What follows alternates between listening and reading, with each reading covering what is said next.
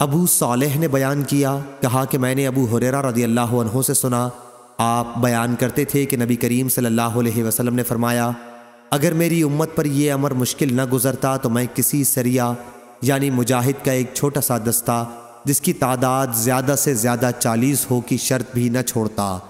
लेकिन मेरे पास सवारी के इतने ऊँट नहीं हैं कि मैं इनको सवार करके चलूँ,